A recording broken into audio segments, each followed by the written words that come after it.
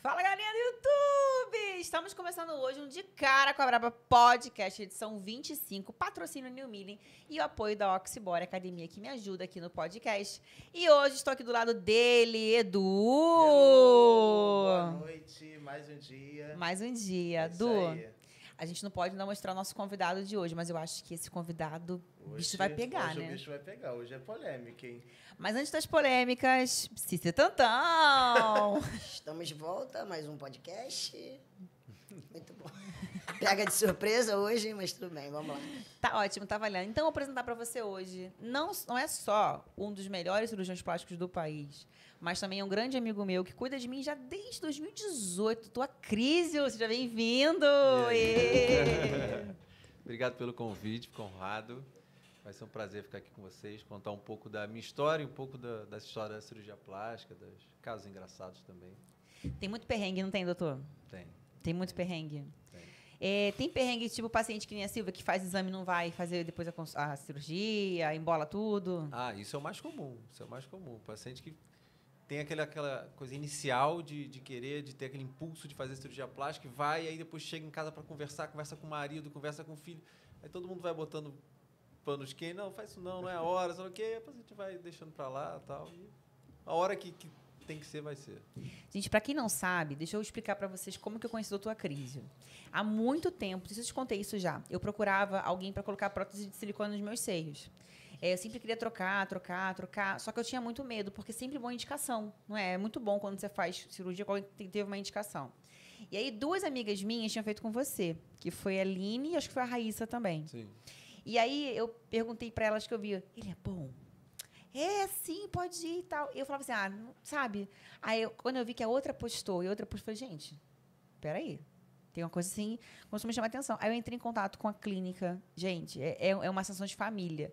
Doutor Cris viu quem eu era, vamos fazer parceria, vamos ficar. Fiquei. Tô lá desde 2018. Gente, já foi o nariz, peito. Vou voltar para refazer o nariz, né? Porque eu quebrei meu nariz. Dez Quebraram. meses depois de operar, Silvia, mandante do meu crime, mandou alguém quebrar meu nariz durante o jogo de futebol. Não foi, amiga? Não, Foi. não. Porque eu estava perdendo. Amiga, foi sem querer o nariz. Nariz, só o nariz. Aí eu vou, poder, eu vou poder operar esse ano de novo, não vou? Final do ano. Vamos ver, acho que não vai precisar, não. Só um pedacinho aqui, ó. Só uma pontinha, um ladinho. Vamos lá, doutor. Posso perguntar de tudo? Pode. Então, eu quero começar tirando dúvidas das minhas seguidoras, que falam muito sobre cirurgia plástica. E a primeira dúvida é sobre lipoled. O que é lipoled? Ela funciona? É pra quê? Na verdade, a LipoLED é uma lipo de alta definição. né? Então, o objetivo da LipoLED é fazer a marcação do músculo. Né? Então, ela faz a marcação medial, ela faz a marcação do oblíquo. Em alguns casos, faz a definição do reto abdominal. Então, assim, o objetivo da LipoLED é isso. É a definição maior. Antigamente, você fazia uma lipo total, né? uma lipo de média definição, que era o normal. Uhum. E hoje criou-se essa técnica, que é uma lipo que em algumas áreas você afina mais a gordura. Você deixa mais aquela pele, aquela derme mais aparente. Então fica mais fino.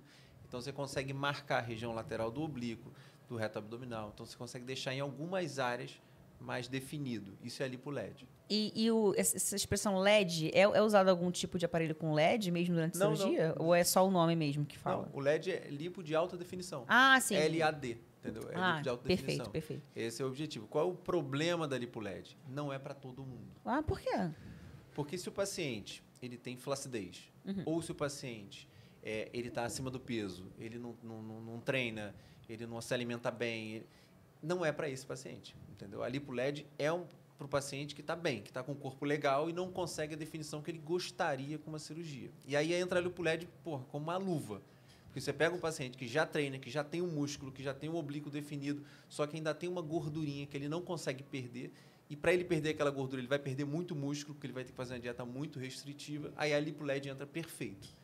Mas aí vem também, junto com esse paciente, aqueles outros que não estão tão acima do peso, que não tem definição muscular, que nunca treinou. E aí quer a lipo LED, que é aquele resultado que ele vê das pacientes que postam, que curtem. entendeu? Então, a lipoled é como se fosse um acabamento. É, é, ele é tipo um refinamento da, da é um tipo um refinamento da, do corpo, mas o ideal, né, não é, a gente não consegue fazer isso sempre, mas o ideal é que a paciente esteja num caminho legal de treino, de dieta, faltando só aquele ajuste fino. Aí a lipo LED entra perfeito. Eu já vi alguns casos de pessoas que fizeram lipo na barriga, ficaram lindas e tal, e depois voltou tudo muito rápido.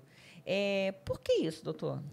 Então, a lipoaspiração a gente remove a gordura, né? A gente remove a, a, a célula de gordura que é o adipócito. Mas ah, se a paciente voltar a comer, voltar com uma, com uma, com uma atividade ruim, comendo besteira, muita gordura, não- sem treinar, então vai voltar. Não tem jeito. Assim, você não, dê- não dá a certeza que não vai voltar. E volta rápido. É, vai, vai depender dela, entendeu? Tem pacientes que conseguem, com resultados da lipoaspiração, ficar bem porra, pro resto da vida. Mas é um Entendi. paciente que já tinha uma, ou, ou já tinham né, um hábito bem legal, ou adquiriram depois, para não perder o resultado da lipo e não passar por aquilo de novo, adquiriram hábitos legais e academia e começaram a se gostar mais, se ver de uma forma melhor no espelho. E aí aquilo dá, uma, dá um passo, dá uma empolgação na- nessa parte da autoestima também, né? Mexe na autoestima, mas se não fizer uma dieta depois disso, realmente volta tudo. Volta tudo, volta tudo. Tem até uma brincadeira que fala que o pessoal volta tudo em dobro, que fala, né? Que a pessoa acha que ela tá magra, tá seca, tá seca, tá seca, tá seca. Quando vê, volta tudo em dobro. É. Eu quero te fazer uma pergunta, mas antes vou te contar uma história. Quando eu era mais nova, não vou falar o nome da pessoa aqui para poder poupar, mas eu tinha um dentista que eu gostava muito dele e ele tinha uma filha que era a coisa mais linda do mundo e ela cismou de fazer uma lipo e ela veio a falecer fazendo uma lipo. E depois disso eu comecei a pesquisar. Eu não sei se é uma das, das- das maiores causas, enfim. Mas por que a gente lê muito na, na- na rede social, na internet, é, que existe um, um índice alto de, de óbitos por conta de, de lipoaspiração? Assim, o que, que acontece, né? Em termos de risco de cirurgia, o risco da lipoaspiração é o mesmo risco de uma cirurgia de vesícula, é o mesmo risco de uma cirurgia de apendicite, é o mesmo risco. É uma cirurgia, é um procedimento cirúrgico, onde você entra num centro cirúrgico anestesiado, então ele é o mesmo procedimento. Qual é o grande problema específico da lipoaspiração? A lipoaspiração ela, ela é um- é procedimento meio banalizado, tá? Ele é um procedimento que as pessoas fazem em clínicas, em consultórios, que é a famosa hidrolipo, né? Que é um procedimento que é feito em consultório, sem anestesista, sem, sem, sem monitorização, sem nenhum cuidado, tá?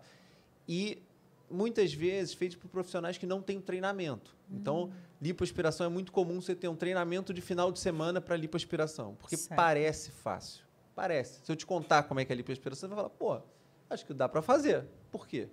Faz um furinho, injeta uma solução com anestésico e adrenalina, espera um pouquinho e depois começa a aspirar. Pô, não tem, não tem grandes mistérios. Sim. Mas o problema é que a lipoaspiração é um dos procedimentos mais difíceis que tem. Tá? E eu, quando eu fazia residência, eu via essas notícias também. Ah, porque morreu com lipoaspiração e tal. Eu sempre- isso sempre me chocou. E aí você começa a ver, pô, onde é que era? Quem era o cirurgião? É membro da Sociedade de Cirurgia Plástica? Fez o treinamento adequado? Fe- E nunca era.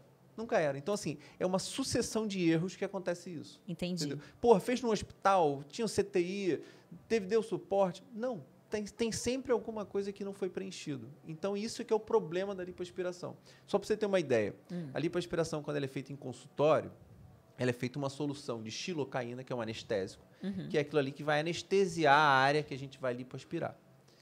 Essa solução, para você chegar na dose tóxica, é muito baixo. Para você ter uma ideia, você, quatro ampolas já seria a dose tóxica da, da, da xilocaína. Uhum. E quando você vai fazer a tal da hidrolipo, você passa da dose tóxica. Muito. Sério? E passando da dose tóxica desse, desse produto, da xilocaína, que é um anestésico local, ela tem chance de ter parada cardíaca. Então, assim, ninguém fala isso. Banaliza. Então, é um procedimento banalizado. Entendeu? O problema da lipoaspiração é isso. E é por isso que a gente lê notícias como essa, então, que eu falei. E, e como é um paciente que não precisaria operar, né? não é um paciente que tem um câncer, que tem alguma coisa, quando acontece uma fatalidade, vira notícia, né? porque é um paciente que não precisava estar ali, que é jovem, quer para tirar uma gordurinha, quer uma vaidade e tal, então vira notícia. Mas o problema é a banalização do procedimento. Porque se você for analisar os, os dados, a abdominoplastia com lipo é uma cirurgia muito mais invasiva e muito maior do que apenas a lipo Uhum. você só ouve falar de morte, de problema com a lipo. Por quê? Porque a abdominoplastia ninguém faz no consultório. Centro cirúrgico. A abdominoplastia ninguém faz com não cirurgião plástico. Entendeu? E aí o problema acontece com a lipoaspiração. Entendeu? Ah, é perigoso? É, tem os seus riscos. São riscos É uma controlados. cirurgia. É uma cirurgia. Mas é tanto quanto o nariz, tanto quanto uma mama, tanto quanto um abdômen. O problema é a banalização do procedimento. É, mas hoje em dia, o que a gente mais encontra aí são clínicas fazendo de tudo. Sim. De Sim. tudo. Isso é comum. A, a hidrolipo, a mini lipo, a lipolite, vários nomes para dizer exatamente o procedimento que é feito no consultório de hidrolipo é o mesmo que eu faço no centro cirúrgico. A diferença é a segurança. E quem pode fazer é só médico. Teoricamente, só cirurgião plástico. Sim. E para você ser cirurgião plástico, você tem que ter no mínimo seis anos de formação pós-faculdade. Uau. Três de cirurgia geral, três de cirurgia plástica. Então, assim, num final de semana, você não vai aprender o que eu aprendi em seis anos. Não tem como. Muito bom. E aí você acaba fazendo com um prof- prof- profissional que você não sabe quem é, se ele é membro, se ele não é membro da sociedade e tal. E aí dá problema. Aí, Pô, a lipoaspiração é arriscado? Não, não é a lipoaspiração que é arriscado. O arriscado é fazer em qualquer lugar com qualquer um. Esse que é o problema. Já deixa a dica pra galera aí. Doutor, falando sobre prótese de silicone, que eu acho que é o que a mulherada gosta, né? Dos peitinhos. Vambora. Silvia vai trocar, não vai, Silvia?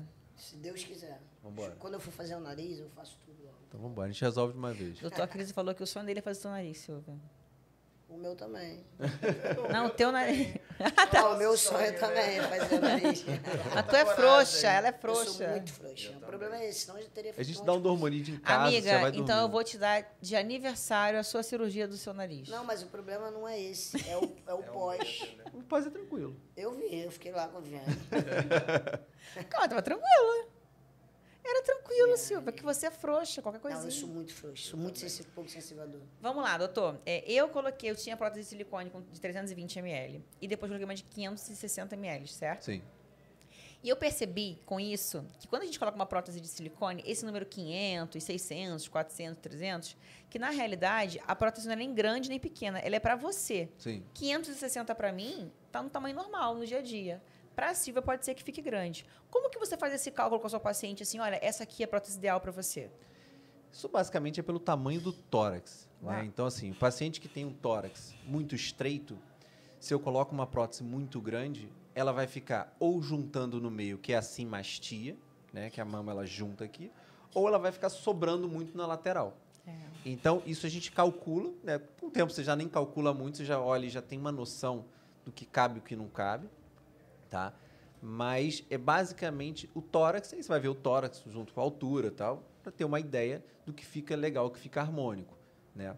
E principalmente ver o que o paciente quer, porque acontece muito no consultório, o paciente fala, não, eu quero a mama super natural. Beleza, me mostra uma foto.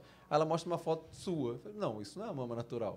Isso é uma mama marcada, com bastante projeção, né? Que, que dá para ver que é silicone e tal. Isso não é natural. Então, é, é o que acontece. Então, eu, eu, eu peço, da, da prótese de mama, eu gosto de pedir, eu peço foto para paciente falar, eu quero saber Uma que- referência. o que, que você gosta? O que, que você gosta? Para o paciente falar, ah, não, eu quero a mama super natural, que eu sou discreto, sei lá o quê. Aí mostra a foto, esse maior peitão. Pô, mas isso, isso não é natural, né? Natural é quando você quase não percebe que tem prótese. Que as pessoas ficam em dúvida se tem prótese. É uma prótese natural. E aí, dependendo do- da altura, do tórax, eu posso botar uma prótese de 450 que fique natural numa paciente e posso botar 250, dependendo da paciente, que fique marcado, que fique artificial. Então, Sim. Eu, quando chego no consultório do doutor Acrísio, sempre tá cheio de seguidora lá fora, né? Aí ele já sabe quando eu chego, porque vira uma bagunça. Todo mundo super educado, sentadinho, arrumadinho, chega eu, a maluca, e já começa. Aí eu, já, eu mostro o peito na recepção para mim, como é que eu fico? Ó, aí a primeira coisa que eu falo, você vai no consultório dele, ele vai falar assim, põe 300, põe 500, 600, é peitão, tá? Porque depois, sabe o que eu acho, amigo? Agora eu opinião como mulher. Depois você coloca um, um peito, sei lá, de 350, 400. Aí na hora fica inchadão, fica lindão. Depois sai toda aquela retenção, fica só o peitinho. E a gente quer ser artificial mesmo, a gente quer o peitão mesmo. Então, eu botei um peito maior, eu troquei inclusive no dia anterior, lembra? Sim. Eu mandei mensagem pra ele um dia antes da cirurgia. Eu quero trocar. Onde é que você arrumou aquela prótese que veio do ah, nada? dei um jeito. Deu um jeito, arrumou uma prótese. Mas é, depois que desincha, amigo, fica, fica peitinho. Não, mas isso, isso é uma, uma queixa muito frequente no consultório. Viu? assim. O paciente ele bota uma prótese e, e- e ele sai um pouco assustado do centro cirúrgico porque ele acha muito inchado, né? Porque a, a prótese realmente ela tem edema, tem um pouco ali de, de- de infiltração que a gente faz para dar anestesia e tal. E, e, e aí ele acostuma com aquilo ali. Na primeira semana ele acostumou.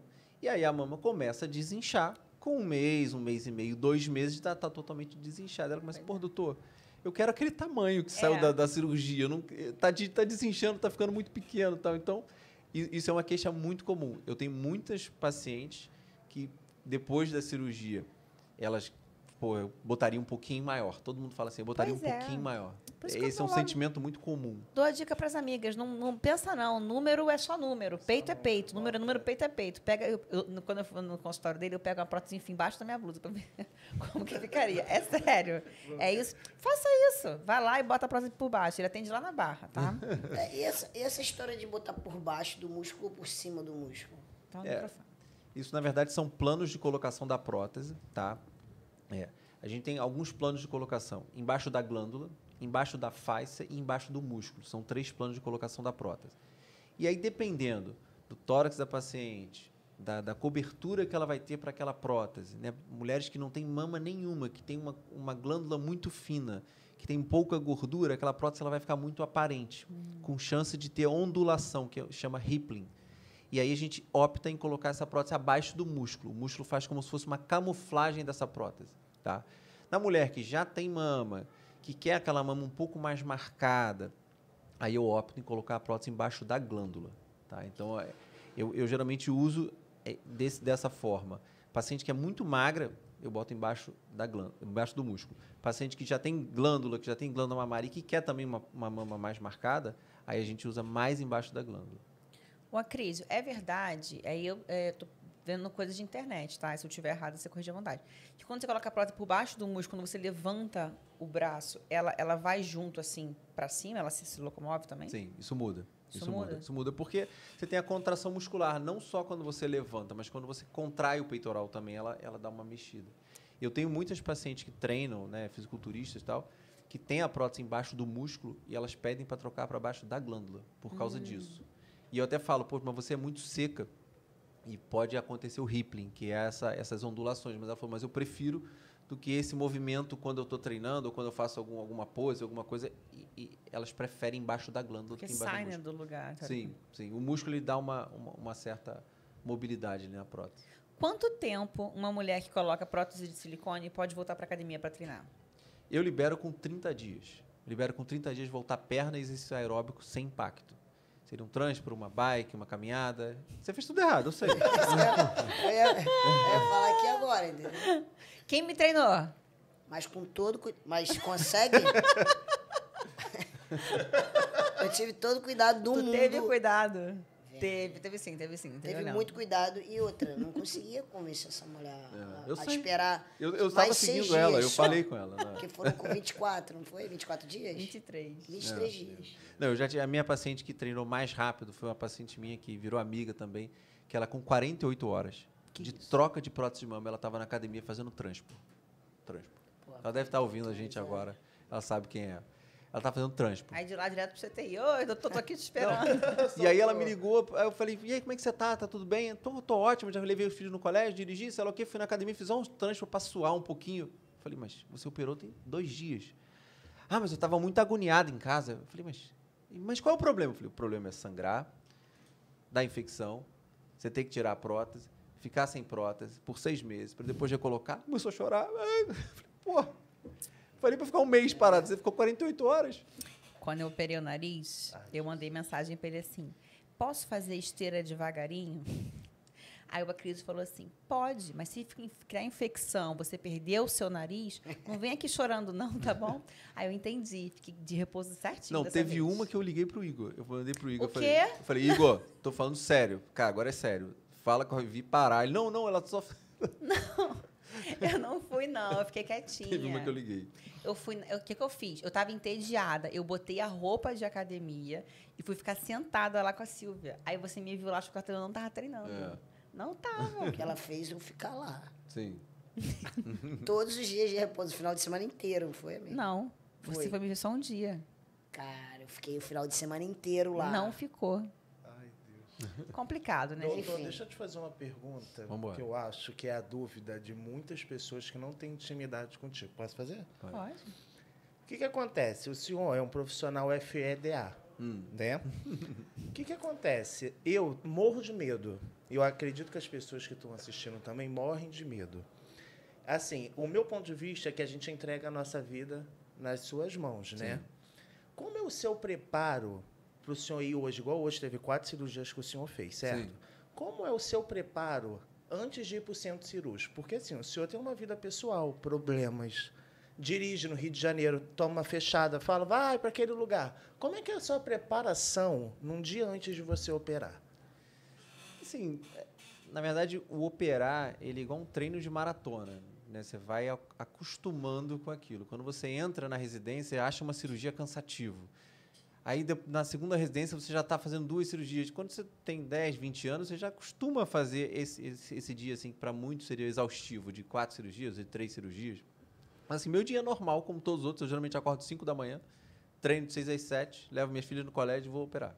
É isso que eu faço. Faz Tranquilo, histórias na praia. É, faço história na praia, na academia e tal. E aí vou, vou operar. Aí eu opero, segunda, quarta e sexta. Geralmente até esse horário, assim, umas sete horas. E depois vou para casa. Mas não tem uma, tipo assim, um ritual, uma meditação, alguma coisa assim, pré-cirurgia, entendeu? É uma coisa da rotina, uma coisa, Coisa normal. normal. Quantas cirurgias por dia? Você, seu seu máximo que você já fez assim? Geralmente, quando é prótese de mama, é mais fácil, porque a cirurgia é mais rápida. Tá? Então, assim, cirurgia de prótese de mama dura em torno de 40 minutos. Aí Tem dia que eu consigo fazer até 10, 8, depende tá? de cada caso. Mas, assim, cirurgias de nariz são cirurgias mais complexas. Eu não consigo fazer muitas porque demora. Então, assim, eu vou fazer duas. Uma de manhã e uma tarde, entendeu? Cirurgias de mama com abdômen. De repente, eu vou fazer uma cirurgia, porque é uma cirurgia de 5 horas. Sim. E aí eu vou fazer só uma. Eu vou fazer, botar uma mama com abdômen, vou botar uma pálpebra, que é uma cirurgia relativamente rápida. Então, assim, a minha ideia é operar ali de 8 da manhã às 5, 6 da tarde. Então eu organizo mais ou menos com o tipo de cirurgia. Você tem o dia da prótese lá no seu consultório. Como é que funciona, doutor? Então, eu criei o dia da prótese, primeiro para reunir nesse dia só prótese de mama, tá? Porque vamos supor, tem dia que eu fazia uma mama, um abdômen, uma prótese, e aí a paciente da prótese internava mais tarde, aí reclamava, tal. Então assim, eu criei o dia da prótese por isso, por ser no sábado, tá? No sábado eu faço esse dia da prótese, e aí eu interno só paciente que querem fazer a prótese de mama, tá? Então a gente bota uma metade de paciente para internar de manhã, a gente faz até meio-dia, uma hora, a equipe para, almoça, e na parte da tarde a gente faz uma outra metade. E aí, nesse dia, eu faço apenas esse tipo de cirurgia. Não faço lipo, não faço abdômen, não faço mama, não faço nada. É só prótese de mama. Então, por isso que foi criado o dia da prótese. Que inclusive mulherada tem um preço bem bacana, viu? Já vou até avisar aqui pra vocês. Parcela que eu sei. Aceita plano lá, doutor? Sim. A- o plano de saúde, ele é aceito nas cirurgias reparadoras. Ah, tá? bacana, Então, se todo mundo acha, poxa, mas o plano vai pagar pelo menos o hospital, só se for reparador. As cirurgias reparadoras hoje, basicamente, câncer de pele, né, que são as cirurgias reparadoras, paciente que de câncer de mama, que é vão fazer reconstrução de mama, e o paciente que fez a cirurgia bariátrica, que também tem direito à cirurgia reparadora. Esses pacientes, o plano de saúde cobre Bacana. tá? ou uma parte ou, ou a cirurgia inteira. Mas fora isso, ele só cobre consultas, se tiver um plano credenciado, e os exames, entendeu? Cirurgia de prótese de mama, paciente jovem, o plano de saúde não cobre nada, né? Só consulta e exames. Não, Ah, não... Mas também, né? Sim, sim. Mas tem muita gente que acha, fala assim, poxa, mas eu tenho um plano de saúde, pelo menos o hospital ele paga? Eu falo, não. Poxa, mas como não? Eu pago o plano. Eu falei, sim, mas é o hospital mais caro. Se for analisar o custo do plano, pagar o hospital é o mais caro. É, é o custo mais caro deles. Então eles não pagam. Ou eles pagam tudo ou não pagam nada. Uma pessoa, quando procura um cirurgião plástico, normalmente é quando ela está ou muito incomodada com alguma coisa, ou tem um sonho de mudar, ou realmente para reparar alguma coisa que esteja incomodando em relação à saúde, ou seja. O cirurgião plástico, ele tem a obrigação de entregar o resultado fiel? Assim, o que, que acontece na- não só na cirurgia plástica, mas na medicina como um todo, né? Ela não é uma ciência exata. Então, assim, a gente tem um plano cirúrgico, né? A gente programa, a gente vai com certeza se dedicar 100% naquele momento para entregar o melhor resultado que, cons que consiga o paciente ali. Mas não é uma ciência exata. Eu não tem como, não é igual uma casa que você vai botar o engenheiro calculista, ele vai calcular e vai ficar aquele pilar em pé ali e resolveu. A mama, você bota uma prótese, a prótese, ela, a mama pode ceder, a, a mama pode cair, a mama pode ficar menor do que o paciente sonhava. Então, hoje na cirurgia plástica, o grande problema que eu vejo no consultório é a expectativa do paciente. Porque eu não consigo saber exatamente o que ele sonha. E aí, se ele tem uma expectativa aqui e eu entrego um resultado aqui, daqui até aqui é frustração. Entendeu? Sim. Porque eu não consegui chegar na expectativa dele e eu não tenho como medir isso. Hoje, né, com o passar do tempo, a gente com mais experiência, você, na conversa, mostrando foto de corpo parecido que eu já tenho por tanto paciente operado, esse teu peito parece com a minha paciente. Aí mostra uma, uma, uma mama parecida, mostra um abdômen parecido, para tentar botar ele um pouco mais dentro da realidade do que eu vou conseguir. Sim. Porque hoje, quando eu vejo uma paciente, eu já sei o que, que eu vou conseguir. Eu já sei que eu vou conseguir. No abdômen eu vou fazer isso aqui e tal. Mas muitas vezes o paciente sonha com algo maior. Eu já tive paciente meu que chegou com uma foto da Carolina Dickman. Ah, eu quero esse abdômen. Eu falei, sim, mas esse abdômen não é operado. Né? Então, se você quer um resultado natural de dieta, treino, sei lá o quê, com a cirurgia, não, não consigo. Entendeu? Não consigo. Como uma paciente de nariz chegar com a foto de uma outra paciente e falar, eu quero esse nariz. Sim, mas a estrutura dentro do seu nariz é outra. Sim. Você tem uma cartilagem diferente, você tem uma estrutura de pele diferente, você tem uma estrutura óssea diferente, você tem um desvio de septo, várias coisas que vão dificultar o trabalho, entendeu? Então, esse é que é o problema da cirurgia plástica, é a expectativa. É, eu, eu tenho, assim, meu próprio, minha própria observação. Quando eu fui operar meu nariz com a crise, eu falei assim, eu não quero um nariz artificial, lembra? Eu quero uma coisa muito natural. E eu vou te falar, é, eu mesma, quando olhei o resultado, eu falei assim, gente, ficou muito sutil. Eu, eu não olho meu nariz hoje como um nariz operado. Ele não parece aquele nariz operadão super fino, pontudo. Eu, Vivi, nem gosto. Sim. Opinião pessoal. Então, isso é muito importante, assim, quando você realmente consegue atingir ou fazer o que você faz. Que você mostra, eu consigo até aqui, atende você. Sim. Aí a pessoa concorda ou não. Isso é bem incrível. Sim. É, sabe o que eu ia perguntar? Alguém já te pediu alguma coisa bizarra, assim? Bizarra? É, tipo, opera isso, faz aquilo, tudo isso num dia. Ah, não, isso é normal. Tudo isso num dia, assim, mama, abdômen, pálpebra, nariz e orelha, não. E Isso- pode? Não. Sim, na verdade, quais são. Isso, isso entra na, naquela parte que a gente falou dos riscos da cirurgia, né? Os riscos de qualquer cirurgia, não só da cirurgia plástica, eles envolvem três coisas basicamente. O tempo de duração da cirurgia, tá? Isso envolve quanto mais tempo de cirurgia, mais problema. O tempo, a quantidade de sangramento, né? O, o sangramento da paciente, tá? É uma coisa que também envolve risco, tá? E a- o pós-operatório. Então, quanto mais, vamos supor que você faça mama, abdômen, nariz e orelha, o paciente vai ficar 12 horas no centro cirúrgico. Com isso, ela aumenta muito a chance de ter trombose, de ter alguns problemas, embolia pulmonar, alguns problemas. Você faz três, três, quatro cirurgias associadas, o paciente tem muito mais chance de sangrar. Então, você entra no sangramento. E o pós-operatório é, vai ser muito mais complicado. Então, ela não vai conseguir andar direito, vai ter dificuldade de ambular, vai ter dor na face, vai ter dor no tórax. Por isso que eu tento diminuir o máximo. Então, assim, mama com abdômen dá para fazer, é, é, mama com lipo dá para fazer. Assim, dá para associar bastante coisa. Mas o ideal é tentar manter o tempo quanto menor possível. Entendeu? Eu acho que uma cirurgia de 5, 6 horas dá para fazer legal, mas mais do que isso eu não gosto. Isso é, sou eu, Porque né? põe em risco a vida do paciente. Eu acho, eu acho, à toa. É, não, Espera, fraciona, quero fazer quatro cirurgias, faz duas agora, duas daqui a seis meses. Isso é importante pra gente ver, porque assim, é, para você ver quais são os tipos de profissionais que você deve procurar. Tem aquele cara que vai falar assim, eu faço tudo, dinheiro é tudo pra ele. Ou o cara que vai falar assim, não, só faço essa parte aqui porque eu te coloco em segurança. Então, quando você for numa consulta com um médico, ou não só um médico, mas às vezes até um, uma, um estético, o que for. Se a pessoa te oferece tudo, tudo muito junto, cuidado, fica atenta. Vai devagar, pensa. Porque a gente chega naquela empolgação de querer, ah, eu quero resolver minha pálpebra, aproveita que eu tô deitada, opera tudo de frente. Olha, gente, eu realmente acho que dinheiro não é tudo. E eu iria levantar, obrigada, beijo, tchau, e eu ia na crise. Ô, doutor Cris, eu tenho uma dúvida. Eu tenho uma amiga minha. Chama Silvia. Eu tenho uma amiga minha. Não. Eu tenho uma amiga minha que ela me pediu para fazer uma pergunta para você. Ah, Lipo de pepeca. Não fui eu. Existe? Existe. não. Existe. existe. É, é uma coisa que eu faço com uma certa frequência, sabia? Sério? Faço quase sempre quando eu faço abdominoplastia, quase sempre. Porque Sério? realmente o pubis fica mais gordinho e aí eu faço a lipoaspiração naquela região. E já fiz em alguns pacientes exclusivamente isso. Quando o paciente não quer fazer abdominoplastia, mas quer fazer realmente a lipoaspiração naquela região. É, dá pra fazer. Não, mas não perguntei, não fui eu que Não foi perguntei, ela não. que perguntou, não, tadinha. Não, não falei pra você. Eu achei que era importante. É, você E prótese? Essa semana a gente viu na internet, é, é meio fútil, mas é curioso. Uma, uma influencer que ela colocou, não sei se era prótese, um preenchimento na, na, na pequeca mesmo lá. Pra ficar um Acho que foi pecacão. preenchimento. Ai, é- existe prótese para aquela região? É preenchimento? O que que é aquilo? Não, prótese não. Pode fazer preenchimento ou com gordura, Uhum. né? É, ou com ácido hialurônico também. São coisas que a gente E consegue ela preencher essa região. Fica preenchida. É, fica preenchido. No glúteo também? Também, também. No glúteo, eu só faço e só gosto de preenchimento com ácido hialurônico ou gordura, tá? Eu não gosto de preenchimentos que não têm absorção, que é o metacril, PMMA, o que fosse, eu não gosto. Eu já tive bastante pacientes que me procuraram com problemas nessa região e é uma coisa muito difícil de resolver, tá? Então eu não faço.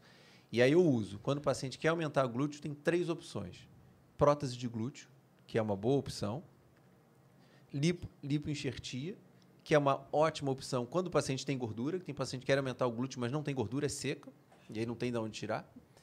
E a outra opção, que- que é uma coisa mais recente, são os ácidos hialurônicos corporais. Corporais? É, que é a mesma que a gente coloca na face, na boca e tal, corporal. E aí você faz aumento do glúteo com um produto que em um ano e meio, dois anos vai ser absorvido. Então não tem Entendi. risco para o paciente. É mais tranquilo de fazer. Ah, sim. É, doutor, é, é, encapsulação de encapsulação, encapsulamento, Capsulamento. encapsulamento de próteses. Fala sobre isso pra gente. Então, quando a gente coloca um corpo estranho dentro do nosso organismo, pode ser qualquer coisa. O corpo ele sempre forma como se fosse um escudo protetor. Tá? Esse escudo protetor é a cápsula. Tá? Então, você colocou uma prótese de mama, toda prótese, a sua tem uma cápsula. Mas a cápsula, geralmente, ela é fina. Ela é uma cápsula bem fininha. E qual é o problema que isso pode ac- acontecer ao longo dos anos? Essa cápsula que é fina, ela pode se tornar espessa e formar contratura capsular, que é o problema que a prótese pode dar a longo prazo. É, é, é pequeno, assim, gira, gira em torno de 2%, mas pode acontecer. Antigamente tinha aquela história, a cada 10 anos tem que trocar a prótese. Hoje só troca a prótese se der a contratura capsular, entendeu? Então, assim, toda, toda mama, toda prótese vai ter uma cápsula, mas é uma cápsula fina. Quando essa cápsula fica espessa e começa a doer, aí é chamado de contratura capsular. E tem vários graus, de 1 a 4. No grau 1, você não precisa trocar, você só acompanha, faz medicação. No grau 2, você só acompanha. No grau 3, ele começa a doer. E aí você tem indicação de trocar porque dói. Não é só porque ela está mais dura, é porque ela está começando a doer. E aí a indicação de trocar. E a gente remove a cápsula com a prótese em monobloco, tira tudo, e aí coloca uma nova prótese. E aí pode trocar de plano. Se tiver embaixo da glândula, pode botar embaixo do músculo, pode tentar fazer algumas outras coisas. É bem tranquilo a cirurgia de, de, silico- de prótese de silicone nos seios, né? Sim, é uma cirurgia rápida, é uma cirurgia com potencial de sangramento baixo, mas é uma cirurgia também com uma expectativa muito alta, porque o paciente quer ficar lindo, né? O paciente não tinha nada, ela quer ficar linda. Então a expectativa é muito alta, a responsabilidade é alta. Ela é uma cirurgia tranquila, mas é uma cirurgia com uma responsabilidade alta. Por causa da expectativa do paciente. Exato. Doutor, quem tem flacidez na barriga, como resolver? Então, flacidez na barriga é um problema. Tá? A gente tem assim, a coisa que resolve completamente a abdominoplastia. O paciente teve dois filhos, e amamentou, teve- e aí tem aquela barriga flácida. Com a, porque o paciente não tem só flacidez de pele, geralmente ele tem flacidez de pele e de músculo. Então, o que, que vai tratar a flacidez de pele e de músculo? A abdominoplastia. Que você re- remove a pele, descola até lá em cima, dá ponto no músculo, que é uma aplicatura do músculo reto abdominal. Então você coloca o músculo no lugar e bota a barriga mais para trás e puxa a sobra de pele. Então você resolve a flacidez muscular e a flacidez de pele. Tá? Poxa, doutor, mas eu não quero fazer de jeito nenhum abdominoplastia porque eu não gosto da cicatriz. É uma cicatriz longa. Não tem jeito. A cirurgia plástica é sempre uma troca. Você vai trocar uma coisa que te incomode, uma flacidez por cicatriz. Sempre. E a cicatriz ela vai ficar na, na prótese de mama, uma cicatriz de 4 centímetros. Beleza, não incomoda tanto. Na mamoplastia já é uma cicatriz mais longa. No abdominoplastia é uma cicatriz mais longa. É, em toda essa região, né? É, geralmente vai ali de cristilíaca a cristilíaca. Não tem a mini agora que falam? Sim. A mini abdominoplastia, na verdade, ela vai ser uma cicatriz bem menor do que a abdominoplastia, mas ela também não resolve a flacidez toda. Porque ela não vai tirar aquela pele de cima do umbigo e ligar até lá embaixo. Só? Ela, para você ter uma ideia, a cirurgia de abdominoplastia, ela remove em torno de 20 centímetros de pele. Centímetros? É, 20 centímetros de pele. A mini abdômen vai remover 5, 7 centímetros de pele. Então, se o paciente tem muita flacidez, Não tem como. ela, ela vai ficar insatisfeita. Vai ter uma cicatriz menor do que a do abdômen, vai, vai continuar insatisfeita, entendeu? Mas hoje, no mercado, tem muita tecnologia com o intuito de ajudar a paciente que tem pouca flacidez, que ela não quer cicatriz. Aí tem o Renúvel, tem o Body Tight, tem várias coisas novas que têm esse objetivo de fazer a retração da pele e você não precisar remover pele. Pô, mas aquele paciente que tem aquele abdômen avental vai adiantar? Não. Esse não tem jeito. Esse vai ter que fazer a abdominoplastia. Então, a mesma coisa se aplica para quem tem muita flacidez em pele. Eu digo assim, por exemplo, na perna. É uma pessoa que é ex-obesa, que aí ela precisou, perdeu muito peso e a pele não voltou. Como conseguir tirar essa flacidez da perna, dos braços, por exemplo? No- Nos últimos anos para cá, apareceu esse paciente que é o paciente que foi submetido à cirurgia bariátrica. A cirurgia bariátrica não existia há 40 anos atrás. Né? Ela começou há pouco tempo, relativamente pouco tempo. E aí surgiu essa classe nova de pacientes que perderam 50 quilos, Sim. 60 quilos. Já operei um paciente que perdeu 110 quilos. Então, assim, não tem jeito. Esse paciente ele vai ter que ter cicatriz. Não tem para onde a gente fugir. Ele vai trocar a flacidez que incomoda por cicatriz. E muitas vezes não é só a flacidez, a estética. Muitas vezes é a função. Né? O abdômen avental, se ele for muito grande, tiver muita sobra de pele, ali causa mau cheiro, causa micose, causa assadura. Então, assim, você vai melhorar a função, vai melhorar a higiene também do paciente. Tá? Então, você, hoje a gente está operando pacientes que perderam 100 quilos, que perderam 70 quilos. Então, assim, infelizmente, a gente vai ter que trocar essa sobra de pele por uma cicatriz. Esses pacientes, eles ficam geralmente com cicatriz no braço, que faz o lifting de braço, faz cicatriz na mama, alguns fazem cicatriz no abdômen circunferencial, que faz a abdominoplastia na parte superior e faz na parte posterior o lifting de glúteo, que ele suspende a região glútea. E também a cicatriz na coxa, que é o lifting das coxas. Que legal. Então dá para reparar todo o corpo se quiser. Dá. Mas o é problema é a troca por cicatriz, que eu acho válido. Dependendo do caso, eu acho muito válido a troca. por- E cicatriz, tem como sumir? A cicatriz ela nunca some, ela vai estar sempre ali. Você pode melhorar, pode melhorar. Geralmente eu passo, uso a cola durante a cirurgia para tentar tirar a tensão da pele. No pós-operatório a gente usa fita de silicone, pomada de silicone, laser CO2 fracionado. A gente faz tudo para tentar deixá-lo o mais fino possível, Sim. mas ela vai estar sempre ali. A cicatriz ela não some, ela melhora. A minha é tão fininha aqui embaixo. Sim, mas ela está aí. É porque o, o, o próprio seio ele tem uma quedinha natural dele, bem pouquinha que faz. Ele sumiu com ela, você nem vê. E, e, assim, a arte da cirurgia plástica não é não ter cicatriz, é esconder a cicatriz. Entendeu? Então, você vai fazer um lifting de face, por exemplo, você vai colocar a cicatriz bem colada na orelha, num local que você já tem uma dobra natural, e aí você esconde na dobra. Você vai fazer a, a blefaroplastia, que é a cirurgia da pálpebra, você coloca bem no sulco palpebral, que quando o paciente abre o olho, a cicatriz não aparece. Entendeu? Você vai fazer a prótese de mama, você coloca no sulco da mama, porque a cicatriz não aparece. Então, são alguns macetes né, que a cirurgia plástica criou para tentar esconder. A própria abdominoplastia, a gente coloca a cicatriz posicionada na linha do biquíni da paciente. Então, ela coloca um biquíni, não aparece cicatriz. Ela bota uma calça jeans, não aparece cicatriz. Ah, mas se ficar nua, aparece? Aí aparece. A cicatriz, ela está ali, mas você consegue esconder. O objetivo da cirurgia plástica é esconder as cicatrizes. Mas hoje em dia já vi até umas maquiagens que você passa assim com spray no Tem. corpo que, que some. Se quiser fazer uma gracinha, só passar uma maquiagem já foi. Sim. Deixa eu fazer uma pergunta para você. Muitas mulheres que tomam hormônio têm as a parte íntima, às vezes, modificada por, conta- por conta de hormônio. Cresce os grandes, os grandes lábios ali. Tem uma cirurgia chamada ninfoplastia, certo? Sim. É, explica um pouquinho sobre isso pra gente, doutor. Então, é, a ninfoplastia, o objetivo da ninfoplastia é melhorar os pequenos lábios. Né? Então, geralmente, esses pacientes, ele tem os pequenos lábios muito aumentados, muito maior do que os grandes lábios. E o normal é que os pequenos lábios sejam menor. Né? Então, o nome já diz, pequenos lábios. É para ser menor do que os grandes lábios. E aí, nesse caso, a gente faz só a remoção desse excesso de pele, deixando mais interessante. Mas o que, que acontece? Muitas pacientes que usam anabolizante, elas têm aumentado também o clitóris. E isso é um problema um pouco maior por conta da sensibilidade, né? Porque o clitóris é o que dá a sensibilidade. Então isso é uma área um pouco mais complicada de mexer. A gente consegue até algumas coisas de pontos laterais para tentar colocar ele um pouco mais para dentro, embutir um pouco o clitóris, mas sem mexer nele, sem diminuir o tamanho, porque senão você diminui a, a, Sensibilidade. a sensibilidade, diminui o prazer e aí não, não, não justifica uma cirurgia. Peraí, então as, as mulheres que tomaram anabolizante, que tiveram o clitóris aumentado, é, dependendo do tipo de, de quantidade, do tamanho que ele aumentou, não tem jeito. Não tem jeito. Dependendo. Não volta, não volta. Isso é uma sequela que o anabolizante deixa na mulher que não volta, né? Algumas sequelas não voltam.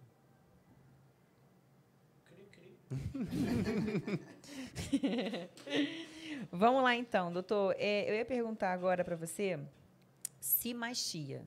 O que é? Então, simastia é a junção das mamas. Né? A mama, o normal da mama é nesse suco interglúteo ter esse vão né? entre uma mama e outra, dividindo. A simastia, ela pode ser congênita, tem paciente que já nasce assim, ela tem essa simastia, ela tem isso aqui mais alto, tá?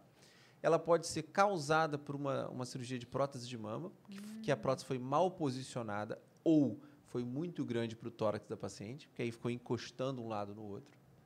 Ela pode ser causada por uma prótese que realmente des- deslocou, que a prótese ela pode dissecar. A prótese, de repente, ela é um pouco menos rugosa e ela disseca. E as duas próteses conseguem quase se encontrar. Tem simastia que é total. Você abre de um lado e ela passa para o outro lado. Tem simastia que não, que só tem aparência. Isso é uma coisa muito difícil de tratar. Não é uma coisa fácil de tratar Mas tem solução? tem solução, tem solução. Eu tenho operado cada dia mais esse tipo de cirurgia e, e geralmente a estratégia que eu uso, primeiro é entender o que está acontecendo. Já tive casos de eu precisar re, ressuturar toda a lateral de um lado e do outro para refazer o, o, o- o local onde a prótese de mama fica. Tá? Já teve casos que eu tirei a prótese embaixo da glândula que estava comunicando e coloquei embaixo do músculo num novo estojo e ficou legal. Tá?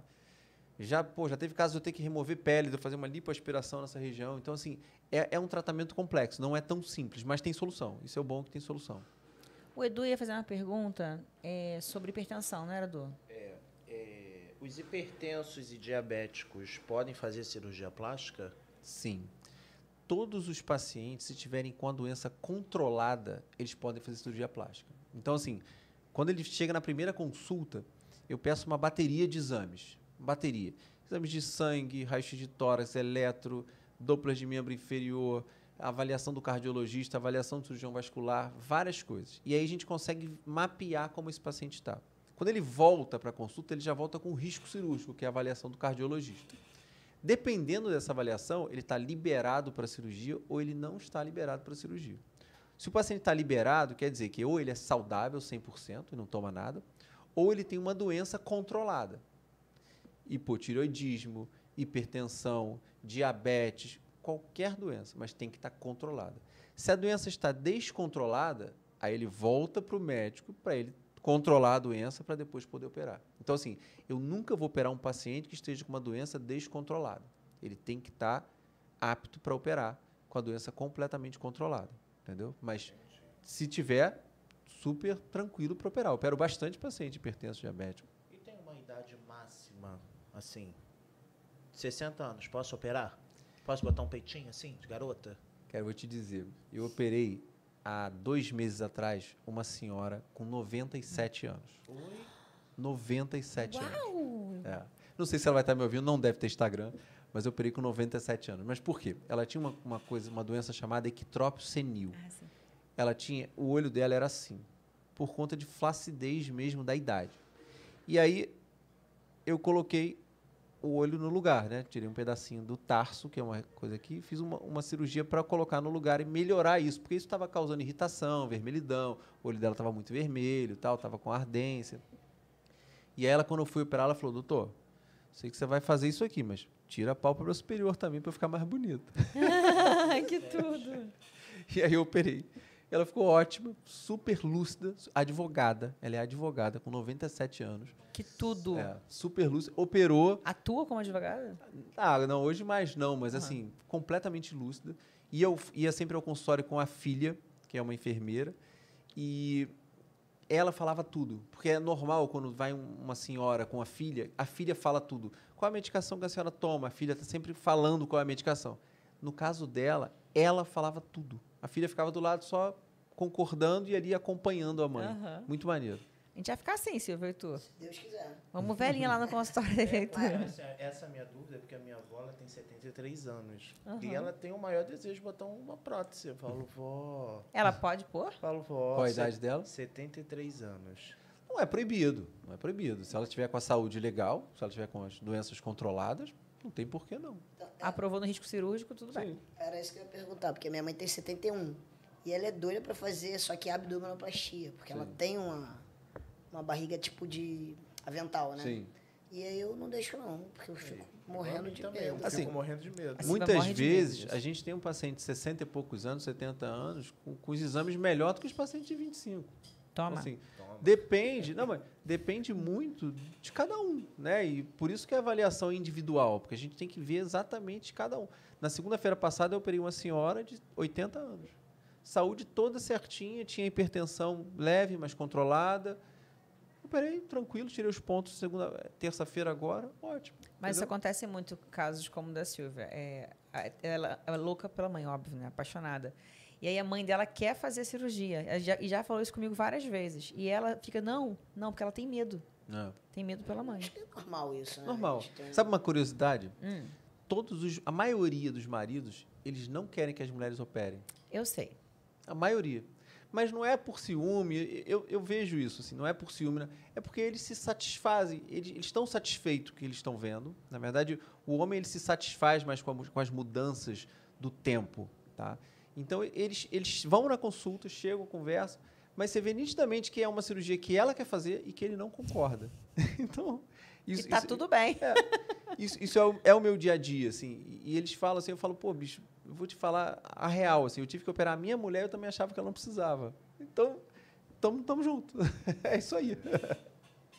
O Igor, quando eu fui colocar a prótese de silicone, ele falou: não precisa, tá lindo assim, vai mas eu quero. E ele não queria. Eu acho que eu fui, eu chamei ele no dia, pra, acho que foi, foi ele assim: vamos sair para comer e aparecer lá no teu consultório. Não, teve um caso assim. curioso de uma paciente que eu entrei no quarto para marcar. Geralmente eu vou no quarto antes da cirurgia para marcar e tá o marido me encarando. Porra, com uma cara feia. eu falei- Aí, pô, marquei, tudo bem, prazer e tal. Aí fui pro, pro centro cirúrgico. Cheguei no centro cirúrgico e falei, cara, o que, que teu marido? Ele falou, doutor, ele descobriu agora de manhã que eu ia operar.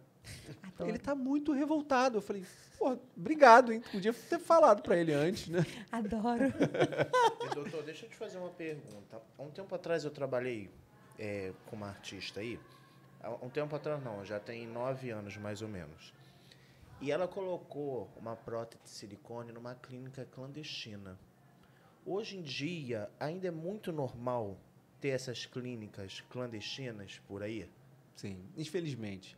É muito difícil essa fiscalização, né? Assim, porque se, se a clínica ela não é credenciada como hospital, ou se não está legalizada a vigilância sanitária e tal, os órgãos competentes não tem nem como visitar. Ele, ele- vai ser uma denúncia, vai ter que ser uma denúncia para alguém chegar lá. Então, hoje o mais comum que eu falei é a hidrolipo, né? Então, assim, qualquer consultório vira uma clínica de hidrolipo. E, e- e esse é o problema, né? Esse, esse é o risco do, do procedimento. Mas uma pessoa sem ser médica, ela consegue colocar um- uma prótese de silicone? Acho que dificilmente, sem ser médica, fazer alguma cirurgia conseguiria. Mas, de repente, tem um médico que não é cirurgião plástico, mas tem uma vivência, ele acompanha alguém, aprende a fazer e faz. Faz nesses E de uma lugares, forma né? clandestina também. E o risco de morte é de 100%, né? Não tem. Porque não tem. Eu lembro que não tinha nenhum suporte. Gente, pelo amor de Deus. E foi horrível, foi Uau. horrível. Eu, eu, não, eu não gosto nem de falar nisso, porque as pessoas elas estão colocando a, a vida delas em risco realmente. Aqui coloca aquele óleo, né? de- Óleo de- é, uma vez eu vi uma reportagem na televisão, óleo de garrafa que eles colocavam mesmo. Na mama, Aque- no aquele glúteo. negócio derrete depois vai pro corpo todo. Que Assim, loucura. o senhor como médico deve ter muitas histórias, mas nesse caso que eu passei, eu saí dessa clínica clandestina sem nenhuma receita. Sem nada. Sem nada, tomou uma anestesia local e quando passou o efeito gritava de dor. Eu saí desesperado numa farmácia em São Paulo para comprar remédio. Falei, olha, eu tô com uma pessoa que botou uma prótese, eu preciso de remédio antibiótico. Não sabia nada.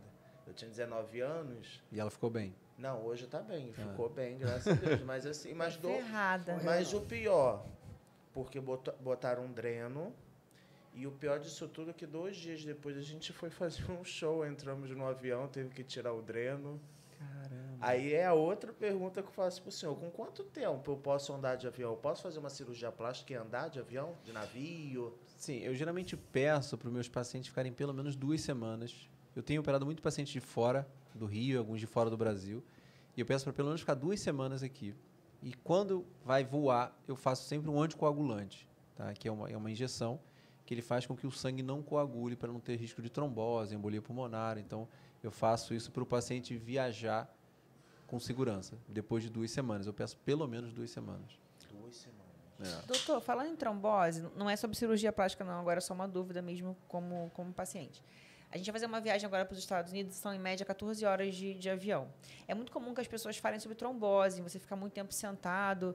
Isso é, isso é, isso é um mito ou é verdade que pode acontecer? É, a, tro- a trombose, ela na verdade, ela é uma coagulação do sangue na perna. né? Você, você tem um vaso, o vaso ele fica parado, aquele sangue acumula ali, ele faz um coágulo. Isso é trombose, tá? Então, para evitar a trombose num voo desse, o que, eu recomendo? Usar meia de compressão, porque a meia ela não deixa o seu vaso estender, o vaso ele fica mais colabado, com isso não fica muito sangue naquela região, e andar. Sempre que puder, andar, não parar, entendeu? Porque você vai Andar dentro do avião? dentro do avião.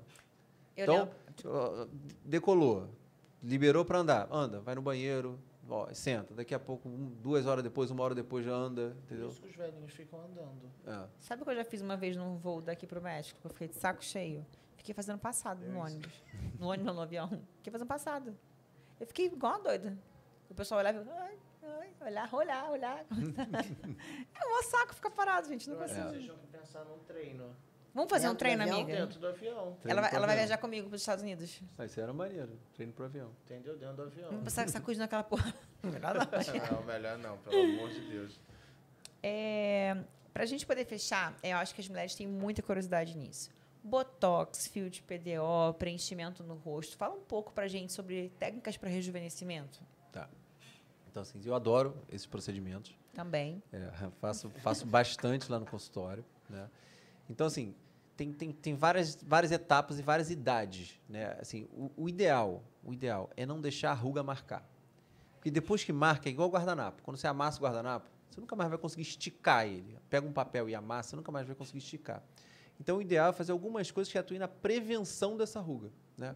O Botox é uma das melhores coisas de prevenção de ruga, né? porque ele paralisa o músculo, faz uma paralisia flácida e faz com que o músculo frontal, orbicular, ele não contraia. E com isso ele previne a formação daquela ruga mais profunda. A ruga, depois que ela ficou profunda, é mais difícil de tratar. Tá? Então, coisas muito legais para rejuvenescimento. Botox, assim, número um. É, eu gosto muito dos bioestimuladores, que hoje está a grande moda que entra o ácido polilático, o, o, o, hidroxapatita de cálcio, que é o Sculptra, o Radies e tal. Por quê? Porque eles vão estimular o colágeno e também evitar com que a pele fique flácida. Então isso pode começar mais precoce. O paciente com 30 anos pode fazer, deve fazer. Porque com 30 anos você já vai estimular o colágeno para não com 40 você não está com a pele muito flácida. Então você já começa a estimular mais cedo, tá? E aí entra os preenchedores, né? Os preenchedores eles têm um pouco de mito, né? As pessoas têm muito medo da harmonização facial por conta dos casos mal sucedidos, né? Então você vê aquela paciente com aquela cara esquisita, com um malar muito preenchido, com a boca enorme e tal. Aquilo assusta um pouco, né? Mas assim, o preenchimento, fazendo com a técnica bacana, usando pouco produto, né? Aos pouquinhos, vai fazendo aos poucos, fica muito maneiro. O resultado é muito legal. Então assim, e rejuvenesce demais assim. Você realmente reposicionar o malar, né? Você melhorar o suco nasogeniano, melhorar a olheira, dar um aumento no lábio, projetar um pouquinho mais o queixo. Tem que ser muito de leve, muito sutil. O mais maneiro da cirurgia plástica, dos procedimentos de rejuvenescimento, é a pessoa não perceber que você fez. A pessoa falar, pô, o que, que você fez? Você acordou melhor, você está mais bonita, teu olhar está melhor. Isso é Sutil. que é maneiro. Porque quando a pessoa fala, você fez a harmonização, né? É porque ela viu que tem, tem É. problema. Assustou. Quando a pessoa do lado pergunta se você fez a harmonização, é porque está errado. O maneiro é quando a pessoa chega e fala, o que que você fez na pele? Você fez Sculpture, ela está achando que você está com uma maquiagem diferente. Não foi a maquiagem. foi o estímulo de colágeno. Melhorou o vigor, melhorou a, a flacidez, melhorou a qualidade. Você, pô, é maneiro a sua pele. Então, isso é que é maneiro. Né? É, é você não perceber o nariz. Pô, se o nariz é bonito, né? Nem... Aí você fala, mas eu operei, pô, mas nem parece plástica. Isso é um elogio para mim. Sim. Quando o paciente fala que, pô, ninguém percebeu que eu operei o nariz, eu falei, caramba, isso é maneiro. Isso não é ruim. Né? Isso, isso é o meu maior elogio, assim. É a paciente estar mais jovem, estar com uma cara descansada e não parecer que fez nada. Isso aqui é o grande lance. É, é um, um rosto saudável, Exato, sem ser artificial. exato. Quando eu, eu, eu competi em 2018, eu fiquei com muita flacidez no meu rosto. Foi quando você começou a cuidar de mim. Eu tinha isso aqui assim meio caído depois das competições, aquilo me incomodava muito. Então a gente começou a fazer o Sculptra, Sim. Né? Agora já com 31 anos de idade eu coloquei dois fiozinhos que deu uma, nossa, melhorou muito a, a flacidez assim, e é bem legal, porque eu fui fazendo procedimentos bem sutis e hoje eu quando olho uma foto minha de 2018, olho uma foto minha hoje, me sinto muito mais jovem hoje. Sim. Absurdamente mais jovem. Mas exato, é, é fazendo sempre aos poucos, Bem aos poucos. para não dar uma mudança radical, para ficar com aquele olhar de dormir bem, sabe? Acordei bem. É. E as pessoas, caramba, você tá com a cara boa, tá bem descansada. Isso é que eu acho legal desses procedimentos, assim. É não, não, não aparecer. Não ser agressivo. Exato. É igual o Botox. Eu acho que eu faço Botox desde que eu tinha 24 anos de idade, 25. É, eu, eu, eu, eu sentia um pouquinho de incômodo, mas assim, era bem devagar. A médica, na época, ela falou assim, me faz Botox preventivo. Isso existe? Existe. Existe. É para não deixar formar a ruga. Eu não tenho rugas no meu rosto. Porque depois que a ruga forma e forma aquele vinco, aí não tem jeito. Aí é mais difícil. Aí você tem que preencher, aí você tem que estimular colágeno, aí você tem que fazer o botox. E é mais difícil. E nunca sai. Nunca sai. Ele sempre melhora, mas não resolve 100%. E só para fechar, é, uma vez eu fiz na sua clínica um laser maravilhoso que tirou mancha de pele depois de mês de mal. Dá, explica um pouco sobre esse laser pra gente. Esse é o laser CO2 fracionado, é um Muito dos bom. lasers que eu mais gosto assim de fazer, porque realmente ele faz dois tratamentos. Né? Ele faz o tratamento como se fosse um peeling, Uhum. então ele limpa a pele de poros, sei lá o quê, aquela parte melhora o tamanho dos poros, diminui os poros, melhora a mancha. E ele também faz como se fossem uns furos na derme com, com o laser e isso estimula o colágeno. Então você age de duas formas, melhorando a aparência e melhorando a flacidez. Então é bem legal, bem legal mesmo. Eu adoro, junho tô lá fazendo. É, o inverno é uma época muito boa, É. porque é um laser que você não pode pegar sol. Então você vai ter que ficar aí pelo menos umas duas semaninhas sem sol. Então, época de praia tem esse problema para quem gosta de praia. Alguma pergunta, Silvia? Não, só dizer que eu vou criar coragem pra ir lá, Bora. fazer meus procedimentos e, e ter- e, de repente levar minha mãe. pra Leva sua mãe, então. Aí, ó, saiu convencida. Não, a gente tem que confiar na pessoa que a gente. é, no médico, né? Sim. A gente tem que sentir uma certa firmeza de você fazer. Dá pra Vamos operar ver. dois narizes um dia? Dá. Pronto, eu Geralmente eu opero faço. Também. Dá pra fazer aí, ó, dois e, clientes. prótese junto? Dá. Nariz e prótese. Não, só o nariz, porque eu vou contigo. Mas a Eu Silvia, junto. sabe o que ela falou? Que o dia que ela fazer o nariz, que ela quer que ele coloque os fios e faça a boca, porque ela é muito frouxa. Então ela, ela prefere que. Fazer anestesiado. Ah, é, anestesiado. Dá pra fazer? eu. Ah, eu fiz essa semana. Uma paciente anestesiada, ela Aí- anestesiou. aí já- eu fiz o nariz. Fio e lipoenxertia Mas facial. também quando acorda, morreu, né? Porque, é pô, é muita dor, deve ser. Não, amiga. O Não, pós, Silva, o para de pós. botar medo, Porque cara. o fio dói. O nariz Não dói, amiga, não dói. É incômodo. é incômodo. né? Pensa na tua beleza, o teu botox tá maravilhoso. Você quer ver um exemplo? Quando eu operei o nariz, eu não sentia dor, eu sentia incômodo. Qual era o incômodo? É o incômodo de você às vezes querer respirar pelo nariz e ter, e ter meleca entupindo. Era esse o meu incômodo toda a minha cirurgia. Depois que ele tirou aquele, aquele caninho de Splint, dentro, é. o splint de dentro, minha vida era outra. Eu, eu dei uma respirada, parecia que eu não nunca respirei na vida. Minha- a minha respiração mudou absurdamente, para melhor. Melhora mesmo. Porque o, quando ele fez o meu nariz, eh, ele falou assim: você tem um pouco de desvio. Na verdade, tinha um desvio bem grande na hora É. da cirurgia, ele percebeu. Nossa, melhorou muito a minha qualidade. Eu acho Porque, na que verdade, a gente faz o nariz associado à septoplastia, né? Então, é uma rinoceptoplastia. Você melhora a parte estética e melhora a parte funcional Aí. também. Entendeu? Então, esse é o objetivo. Nariz bonito, respirando bem. Vontade eu tenho. Tem Foda-se. criar, tem que Deixa criar eu te falar uma coisa. Opera em setembro, que eu vou viajar. Escuta, deixa eu te falar uma coisa. Por quê? Eu vou me casar em setembro. Eu te mando até o convite, tá, amigo? Calma. Boa. Que eu vou mandar lá pra você. É, eu, porque eu vou operar em setembro, eu vou viajar em setembro. Aí eu vou estar 15 dias fora. Você opera que quando eu voltar, você já pode voltar pra aula. Tá vendo? Tá vendo? Já, é- já é um caso a se pensar, né? Quer mais uma pergunta do. Não, tô satisfeita. Meu Só amigo, agradecer. muito obrigada. Foi um É, prazer. não só pelo podcast, mas por cuidar de mim e da minha família há tanto, tantos anos. É, o Acrísio, isso- você quando se tornar paciente dele, você vai entender que ele não vai ser só o seu médico, ele vai ser o seu amigo, amigo da sua família. A gente vira uma família, não tem como. Todo mundo que eu vejo lá fala de você com muito carinho. É, Ah, é diferenciado. Parabéns pela sua família com três filhinhas lindas. Beijo para sua esposa. Beijo para todo mundo que está assistindo a gente. Muito obrigada pelo dia de hoje. Quer deixar algum recado para a mulherada? Ah, foi um prazer, um prazer tirar, tirar dúvida, cuidar de você, né? daqui a pouco cuidar da Silvia. E, poxa, dizer só para ter, ter muito cuidado na hora de escolher, né? O profissional é importante, é importante é, entrar no site da Sociedade de Cirurgia Plástica, ver se o médico é credenciado, ver se o médico é membro da sociedade, ver se o hospital que ele vai operar é um hospital legal, se, se é credenciado, se tem é, CTI. São coisas importantes, eu acho que a paciente tem que ver. Né? Então, foi um prazer aqui poder esclarecer e tirar algumas dúvidas de todo mundo. Então, me sinto honrado. É isso. Essa foi mais uma edição do De Cara com a Braba Podcast. E agora a gente só vai voltar em junho com o nosso podcast, porque estaremos fora, né, Silvia, viajando nos Estados Unidos, com muitos vídeos para você aqui no canal do YouTube. Acompanhe a gente aqui, vai ter muita coisa nova, inclusive muitos treinos com muitas pessoas famosas que vocês gostam, que a gente sabe. Um beijo, até junho vendo vocês aqui. Tchau, tchau. Tchau, gente.